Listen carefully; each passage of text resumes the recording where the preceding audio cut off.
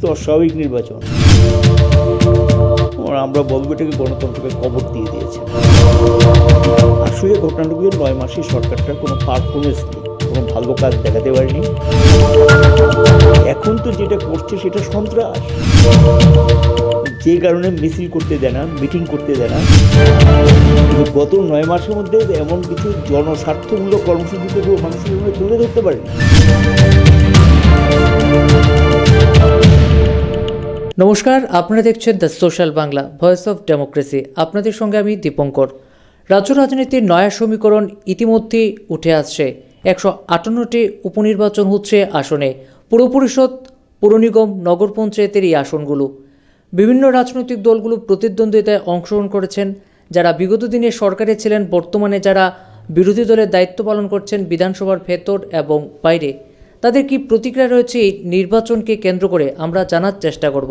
আমাদের সঙ্গে আজ যিনি অতিথি হিসেবে উপস্থিত রয়েছেন প্রাক্তন নগর উন্নয়ন মন্ত্রী মানিক দে। মানিকবাবু আপনাকে আমাদের দ্য সোশ্যাল বাংলায় অনেক অনেক স্বাগত। আপনাদের শাসনতান্ত্রিক ক্ষমতা থেকে বিরোধী দলে পৌঁছানোর মাত্র ন মাস। সেই ন মাসের ব্যবধানে একশো আটান্নটি আসন উপনির্বাচন হচ্ছে। কেন আপনাদের এই নির্বাচিত জনপ্রতিনিধিরা পদত্যাগ করল? কেনই বা এই নির্বাচন? নির্বাচনটাকে আপনারা কীভাবে দেখছেন?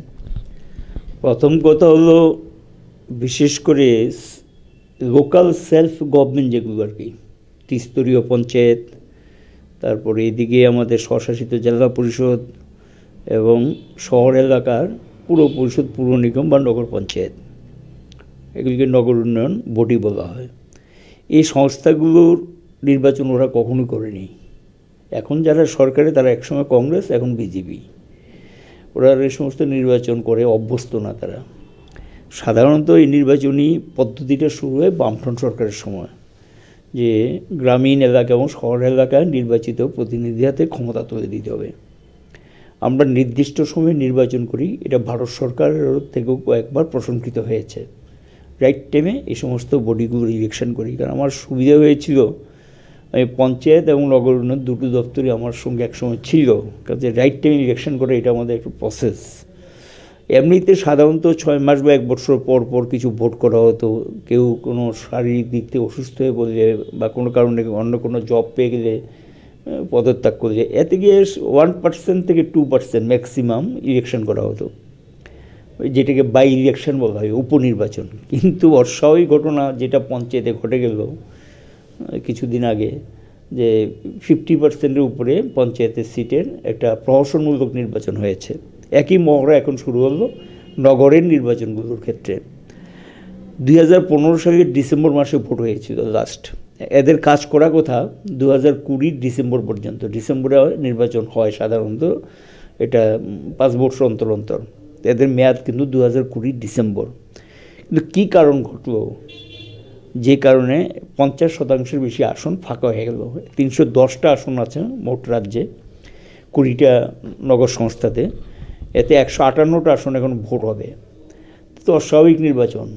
এটাকে উপনির্বাচন বললেও তো কঠিন হয়ে যাচ্ছে। কিন্তু যেহেতু পাঁচ বর্ষ পূর্ণ হয়নি, কাজে উপনির্বাচন শব্দটা ব্যবহৃত হচ্ছে। এখন ভূভারতবর্ষে তো এই দৃষ্টান্ত নেই যে পঞ্চাশ শতাংশের বেশি আসনে উপনির্বাচন। আসলে যারা নির্বাচিত প্রতিনিধি তাদেরকে কাজ করতে দেয়নি।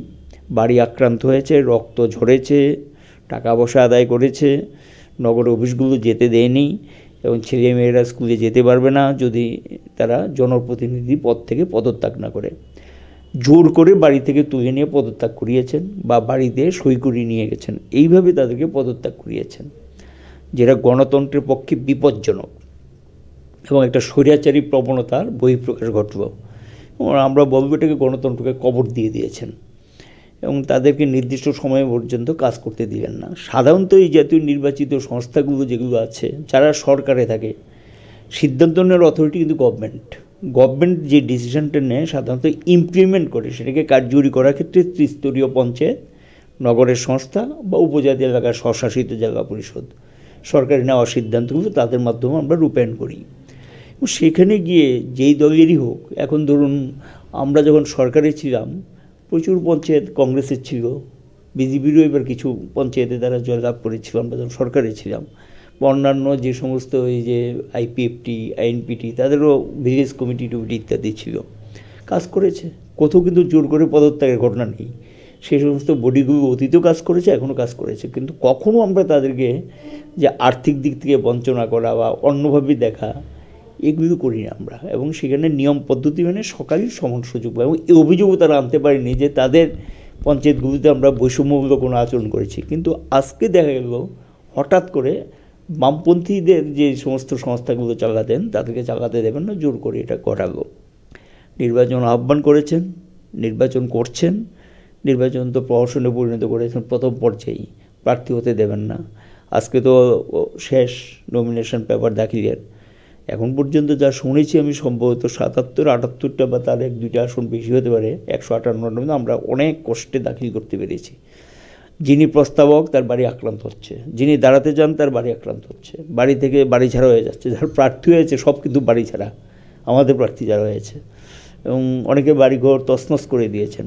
এবং নমিনেশন দাখিল করতে গিয়ে গা আক্রান্ত হয়েছেন। জিরানিয়াতে যেমন নমিনেশন দাখিল করতে গিয়ে আক্রান্ত হয়েছেন, দাখিল করতে দেননি।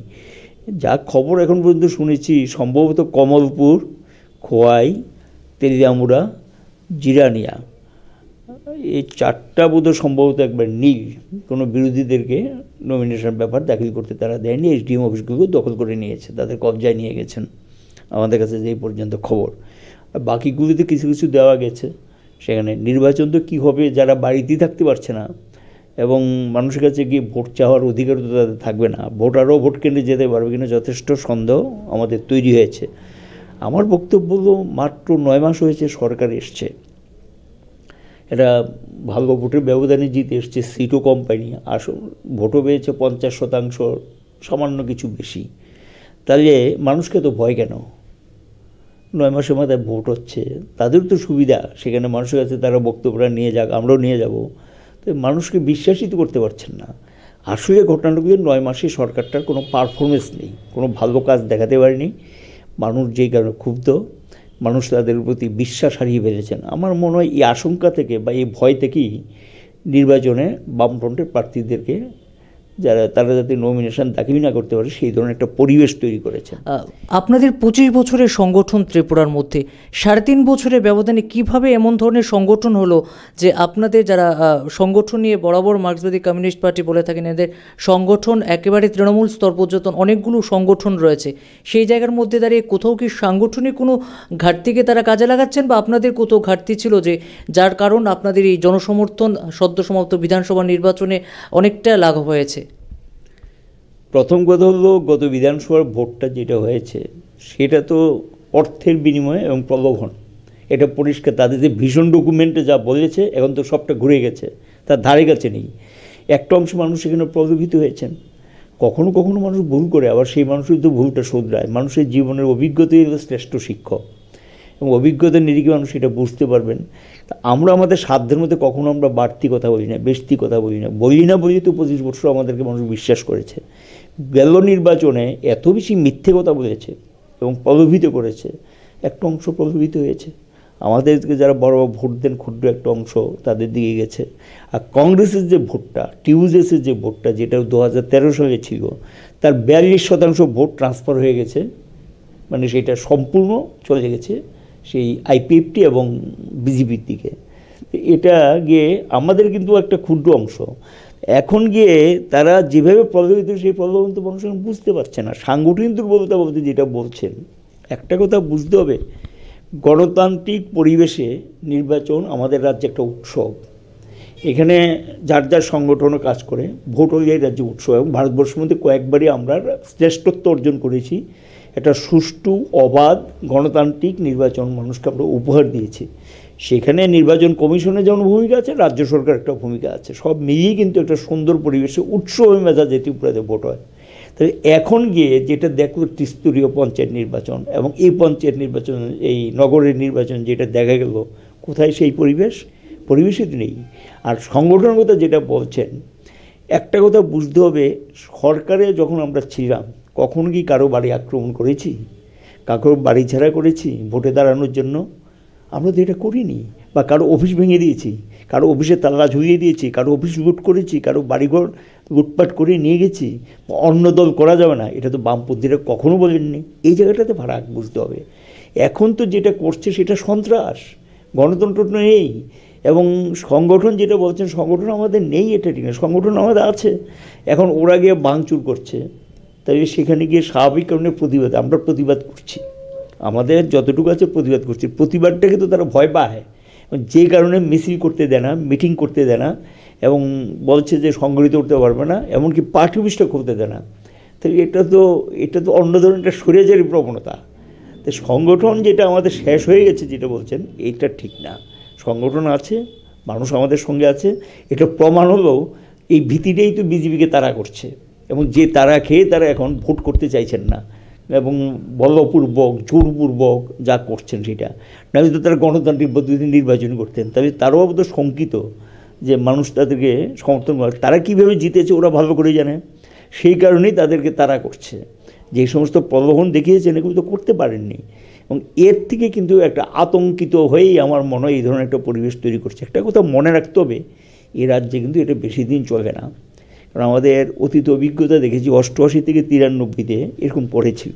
ভোট টোট করতে দেয়নি এবং তিন দিন পরে গণনা পাশ করে যাওয়া, নির্বাচিত প্রার্থীকে পরাজিত ঘোষণা করা। আমি তো তার সবচেয়ে বড় দৃষ্টান্ত, উনিশশো অষ্টআশি সাল।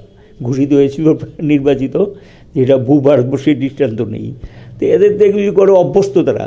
তো অষ্টআশি থেকে তিরানব্বই যখন এইসব করেছিল মানুষ উপরে চূড়ান্ত আক্রমণ করেছিল, গণতন্ত্রে কবর দিয়ে দিয়েছিল, সেই মানুষই ঘুরে দাঁড়িয়েছেন। সিদ্ধান্ত আমার এখনও এই স্লোগানটা মনে পড়ে। উনিশশো তিরানব্বই সালে একটা মানুষের তো স্লোগান উঠেছিল, আমার ভোট আমিই দেব, যাকে খুশি তাকে দেব। উনিশশো তিরানব্বই সালের কথা মনে পড়ছে। অষ্টআশি ভোট যে কটা ভোট হয়েছে, কোনো ভোটে মানুষ ভোট দিতে পারেনি। তিরানব্বই সালে মানুষ সিদ্ধান্ত নিয়ে ওই দেওয়ালটা যখন পিঠ থেকে যায়, তখন কিন্তু সামনের দিকে এগিয়ে যায়। সেই মানুষই ঘুরে দাঁড়িয়েছেন, সেই মানুষই প্রতিবাদ সংগঠিত করেছেন, সেই মানুষই আবার পরিবর্তন নিয়ে এসছেন। গণতন্ত্র পুনরুদ্ধার করেছেন। আর এখন রাজ্যে যেটা চলছে, সেটা ভয়ঙ্কর যেটা, অর্থনৈতিক আক্রমণ। ইকোনমিক অ্যাটাকও শুরু হয়ে গেছে। কাজ নেই, খাদ্য নেই। লোকের যদি কাজ, খাদ্য না থাকে, চলবে কী করে? বাঁচবে কী করে? তো এটা শুধু সিপিএম লোক কাজ নেই, এটা কিন্তু ঠিক না। বিজেপি লোক যারা গরিব মানুষ, তাদেরও তো কাজ নেই। অন্য দলের যারা, তাদেরও কাজ নেই। যে এই যে অর্থনৈতিক আক্রমণটা, যে প্রতিশ্রুতি দিয়ে সরকার এসছে, ভিশন ডকুমেন্ট যেটাকে বলেছে একটাও তো তার কাছে নেই। যা বলেছিল তা যেমন রেগা দুশো দিনে কাজ দেবে এবং তিনশো চল্লিশ টাকা মজুরি দেবে। কোথায়? এখন পর্যন্ত তো তো পঁচিশ ত্রিশ দিন কাজে দিতে পারেনি। কোথায়? তার প্রতিশ্রুতি। তারপর বলেছিল দুই হাজার টাকা করে দেবে যারা সোশ্যাল পেনশন সামাজিক ভাতা। সামাজিক হ্যাঁ সুরক্ষা। কোথায় ভাতা দেয়? এখন তো ভাতা কেটে দিচ্ছে। নানা ধরনের অজুহাত এনে ভাতাগুলি কেটে দিচ্ছে। তো ভাতা তো বাড়বে দূর কথা ভাতা তো কেটে দিচ্ছে। এগুলো গিয়ে পরিস্থিতি সপ্তম পে কমিশন দিবে বলেছে। ধারে কাছেও তো নেই সপ্তম পে কমিশনের। এগুলি তো লোককে মানে মানুষকে বোকা বানানোর মতো এগুলো করেছে। এখন তো লোকে অভিজ্ঞতা ভিত্তিতে বুঝতে পারছে, এই ধরনের অসংখ্য প্রতিশ্রুতি দিয়েছে যেগুলির প্রতিশ্রুতিগুলি রক্ষা করতে পারছে না। আমরা এটাই বলেছিলাম বিজেপি দলটা মিথ্যেবাদী এবং মানুষকে অসত্য কথাবার্তা বোঝায় এবং যা সম্ভব না এই সমস্ত প্রতিশ্রুতি দিয়ে প্রলুব্ধ করে। কারণ এটা শুধু এ রাজ্যের ক্ষেত্রে না কিন্তু সর্বভারতীয় ক্ষেত্রে দুই কোটি বেকারে চাকরি দেবে। জিনিসপত্রের দাম কমাবে, তারপর শিল্প কারখানা বাড়বে, কৃষির অগ্রগতি ঘটবে। আজকে দেশের পরিস্থিতি দেখি কৃষকের আত্মহত্যা চলছে। শ্রমিকের কাজ নেই। যারা কাজ করতেন, তারা কাজ হারিয়ে ফেলেছেন। এবং এই যে বিমুদ্রাকরণ, বিভিন্ন ঘটনাগুলো তো আজকে তাদেরকে তাড়া করছে। সারা দেশে কৃষকরা রাস্তায়, শ্রমিকরা আজকে রাস্তায় আগামী আট, নয় জানুয়ারি দুটো ধর্মঘট ডেকে দিয়েছে দুই দিন। এবং এই যে অবস্থাটা তৈরি হয়েছে দেশে, এমনিতে হয়নি কিন্তু। লোকের ক্ষোভের একটা বহিঃপ্রকাশ ঘটছে এবং তার থেকেই আক্রান্ত মানুষগুলো আজকে ঐক্যবদ্ধ হচ্ছেন। সারা দেশের দিকে তাকিয়ে দেখুন তো, একটা স্লোগান কিন্তু উঠে গেছে যে বিজেপি হটাও। কেন স্লোগানটা উঠেছে? এ সরকারটা সম্পূর্ণভাবে ব্যর্থ, একেবারে সম্পূর্ণ ব্যর্থ। গত সাড়ে চার বছর মধ্যে কোনো ভালো কাজ মানুষের সামনে দিতে পারেনি উপহার। মানুষ যেখানে ক্ষুব্ধ, মানুষ রাস্তায় এখন, মানুষ প্রতিবাদে সোচ্চার এবং এটা তাদেরকে তাড়া করছে। এবং বিরোধী দলগুলো বুঝতে পেরেছে যে এখন তাদেরকে গণতন্ত্র রক্ষায় এগিয়ে আসতে হবে। এই দলটা সাম্প্রদায়িক দল। বুঝতে হবে আমাদের ভারতবর্ষে মানুষ গরিব হতে পারে, কিন্তু তার একটা আত্মসম্মান বোধ আছে, মর্যাদা বোধ আছে। মানুষ আত্মসম্মান আঘাত করছে তো। এই সরকার তো আত্মসম্মান আঘাত করছে। কি কেন্দ্রীয় সরকার, কি রাজ্য সরকার? বিজেপি, আরএসএস মানুষ আত্মসম্মান আঘাত করছে। আমাদের দেশের যে বৈচিত্র্য, ঐক্য, অখণ্ডতা এবং এই যে জিনিসটা সেটা শেষ করে দিচ্ছে, ধর্মনিরপেক্ষতা যেটা সেটাকে শেষ করে দিচ্ছে, এটা তো সাধারণ মানুষ মেনে নেবে না। মানুষের মধ্যে প্রশ্নগুলো উঠে গেছে। উঠে গেছে, মানুষের সমস্যাটা কি? আজকে এই যে পাঁচটা রাজ্যে ভোট হচ্ছে, আমি মাঝে মাঝে পেপার পড়ি, সংবাদ শোনার চেষ্টা করি, মজার ঘটনা হলো কি, যে দেশে এখন মুখ্য সমস্যাটা কি? মুখ্য সমস্যা হলো বেকার সমস্যা, দারিদ্রতা, কৃষকের আত্মহত্যা, শ্রমিকের কাজ নেই, জিনিসপত্রের মূল্য বৃদ্ধি করাপশান, দুর্নীতি চলছে, আকছার দুর্নীতি চলছে। এগুলি তো মুখ্য সমস্যা। পাঁচটা রাজ্যে ভোট হচ্ছে, আমি লক্ষ্য করলাম এগুলি ধারে কাছে নেই। কী সমস্ত মন্দির, মসজিদ, এই সমস্ত নানা ধরনের বিষয়গুলিকে এনে এটাকে বিপদগামী করছে? মানুষের সমস্যা তো মূল সমস্যা এটা। মানুষ তো কাজ চায়, খাদ্য চায়, এগুলি ধারে কাছে নেই। এটা হলো কি? ডাইভার্সান মানুষের সমস্যাটাকে, মূল সমস্যাদের দৃষ্টিটাকে অন্যদিকে ঘুরিয়ে দেওয়া। এটা তাদের কৌশল। এ করে তো পার পাবে না। ওয়ান টাইম হয় টু টাইম হয় না। একবার গত নির্বাচনে মানুষকে এই সমস্ত করেছেন। দুই কোটি বেকারের চাকরি, এই পনেরো লক্ষ টাকা প্রত্যেক পরিবারকে দিয়ে দেবেন ইত্যাদি। তো ওয়ান টাইম দুইবার চলেই জিনিস। তো এখন সেই মানুষই ঘুরে দাঁড়াবে, একটা পরিবর্তনের দিকে যাচ্ছে। এখন মূল প্রশ্ন হলো যেই নীতিতে তারা দেশটা চালিয়েছেন বা চালাচ্ছেন, আমাদের রাজ্য যেই নীতিতে চলছে। বলেছিল কেন্দ্রে এবং রাজ্যে এক সরকার থেকে অর্থের কোনো অভাব হবে না। আজকে অবস্থাটা কি দাঁড়িয়েছে?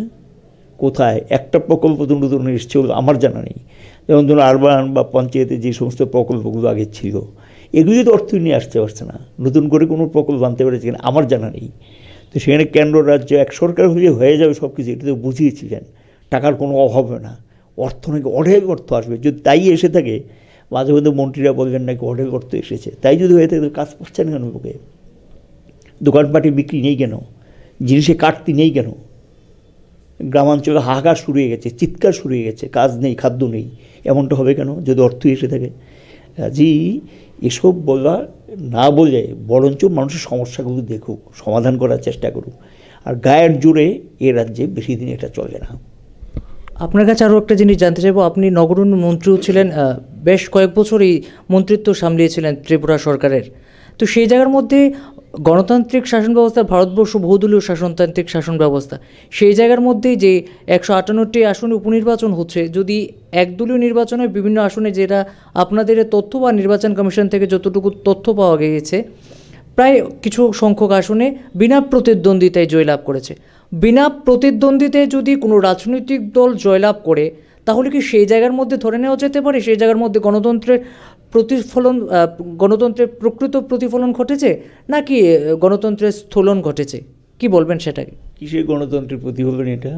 প্রার্থী হতে দেয়নি, আমি তো আগেই বলেছি। সিপিএমে প্রার্থী করার জন্য যাদেরকে আমরা চিহ্নিত করি, খবর পেলে তার বাড়ি ভেঙে দিচ্ছে, বাড়ি ছাড়া করছে। তো এটা গণতন্ত্র। ভোটে দাঁড়ানো কিন্তু একটা অধিকার। ভোট দেওয়া যেমন নাগরিকের অধিকার, ভোটে দাঁড়ানোরও তার অধিকার। সে কে কোন রাজনৈতিক দলের প্রার্থী হবে, সেই রাজনৈতিক দল ঠিক করবে। কেউ ইন্ডিপেন্ডেন্ট প্রার্থী হতে পারে। এটা তো অধিকার। একদলীয় শাসন ব্যবস্থা কায়েম করতে চাইছেন। বিজেপি ছাড়া কেউ থাকতে পারবে না। এই একদলীয় শাসন ব্যবস্থা কায়েম করার জন্য বিজেপি সেদিকে যাচ্ছে। এ রাজ্যের গণতান্ত্রিক মানুষ এবং এ রাজ্যের বিশেষ করে উন্নত চেতনা যাদের আছে তারা সেটাকে বেশি দিন মেনে নেবে না। এটা এই বেশি দিন চলতে পারে না। যা করছেন তারা, এটা বেশি দিন চলতে পারে না। উনিশের লোকসভা নির্বাচনের আগে আপনাদের বামপন্থী সংগঠনকে মজবুত করা এবং আপনাদের যে দাবি গণতন্ত্র পুনরুদ্ধারে আপনারা সক্রিয় ভূমিকা গ্রহণ করবেন উনিশশো অষ্টআশি থেকে উনিশশো তিরানব্বই সনকে সামনে রেখে সেই অতীতের অভিজ্ঞতাকে কাজে লাগে মানুষকে উদ্বুদ্ধ করে উন্নত চেতনার মধ্য দিয়ে আপনারা আপনাদের হারানো জমি পুনরুদ্ধার করবেন এবং গণতান্ত্রিক পরিবেশ ফিরিয়ে আনবেন বলে আপনাদের যে দাবি। সেটা কীভাবে সম্ভব হবে? সবেমাত্র লোকসভা নির্বাচনে আর মাত্র দু থেকে তিন মাস বাকি। মানুষ যতক্ষণ পর্যন্ত একটা অরাজকতা বা অন্যায়কে মেনে নেয়, ততক্ষণ পর্যন্ত সে অরাজকতা অন্যায়টা চলতে পারে। আর মানুষ যখন মনে করে যায় না, সহ্যের সীমা ছাড়িয়ে গেছে, এই অরাজকতা মানা যায় না, অন্যায়টার কাছে মাথা নোয়ানো যায় না, সেই মানুষ কিন্তু আবার প্রতিবাদ গড়ে তোলে প্রতিরোধ গড়ে তোলে, পরিবর্তন নিয়ে আসে। এটা ভারতের ইতিহাস, এটা আমাদের রাজ্যের ইতিহাস। আমরা মানুষের উপরে বিশ্বাস রাখি, মানুষকে বিশ্বাস করি, শ্রদ্ধা করি, সম্মান করি। আমাদের দৃঢ় ধারণা রাজ্যের যে পরিবেশ তারা তৈরি করেছেন, গণতন্ত্রের কবর দিয়ে, মানুষের বাক স্বাধীনতা কেড়ে নিয়ে বল প্রয়োগ এবং জোর জব্বরি করে যেটা করছেন এটা বিরোধী রাজ্যের মানুষ ঘুরে দাঁড়াবেন। এটা আমাদের দৃঢ় বিশ্বাস আছে। আমরা মানুষের কাছে যাব, মানুষকে বোঝাবো। এভাবে কি আমাদেরকে ঘরে বসিয়ে রাখতে হবে জোর করে? মানুষকে আটকে রাখা যায়। একটা পাখিকেও কিন্তু খাঁচায় বেশি দিন আটকে রাখা যায় না। মানুষকে কী করে বেশি দিন আটকে রাখবেন? কাজে এই ভয়টা ততক্ষণ পর্যন্ত চলে যায় যতক্ষণ পর্যন্ত আপনি ভয় পান। কিন্তু একটা সময় আসে, ভয়টা কিন্তু কেটে যায়। সেই মানুষ কিন্তু তখন রাস্তায় নামে সংঘবদ্ধ হয়, প্রতিবাদ তৈরি করেন। যারা এই পথে এ প্রশাসন চালাতে চান, এই পথে দল চালাতে চান, এক একদলীয় শাসন ব্যবস্থা কায়েম করতে চান, তারা মনে ভুল করছেন। এটা ভারতের ইতিহাস না, আমাদের রাজ্যের ইতিহাসও না। বিজেপি আইপিএফটি জোট সরকারে যারা রয়েছেন, তাদের দাবি এই রাজ্যে নাকি নতুন সরকারের যে মন্ত্রিসভা গঠন হয়েছে, একটি গুরুত্বপূর্ণ, এক মানে সমোপযোগী সিদ্ধান্ত নেওয়া হয়েছে মন্ত্রিসভার মধ্যে। নবীন, প্রবীণ এবং তারুণ্যকে এক অনবদ্য যুগলবন্দির একটা মানে বেস্ট পারফরমেন্স দেওয়ার জন্য রাজ্যবাসীকে একটা মন্ত্রিসভা গঠন করা হয়েছে।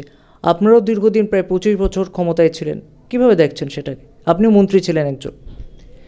প্রশ্নটা নবীন, প্রবীণের না। প্রশ্ন হলো কর্মসূচিটা কী? নীতিটা কী? সেখানে ব্যক্তি দিয়ে হয় না।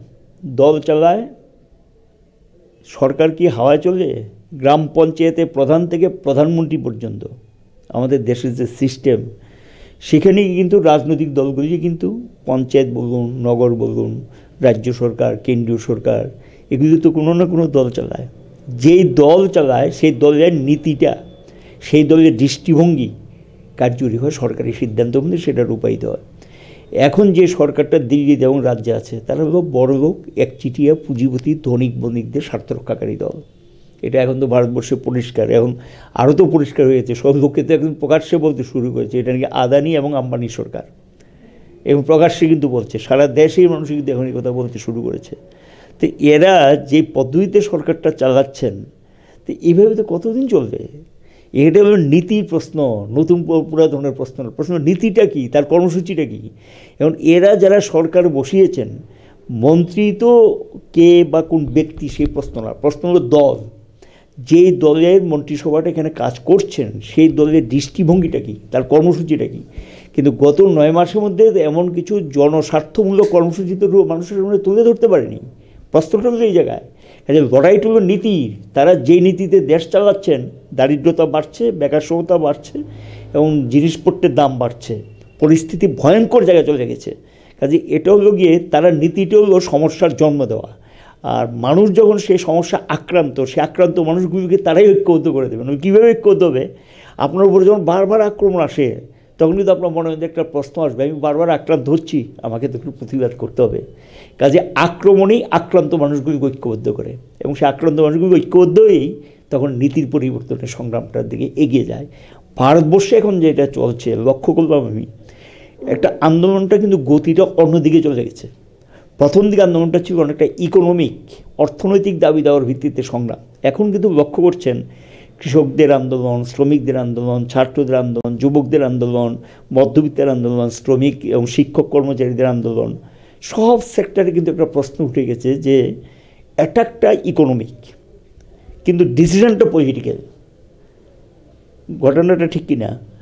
অর্থাৎ অর্থনৈতিক আক্রমণটা নির্ভর করে রাজনীতির উপর। যেই দল সরকার চালায়, তাদের রাজনৈতিক দৃষ্টিভঙ্গির সিদ্ধান্তটা রাজনৈতিক।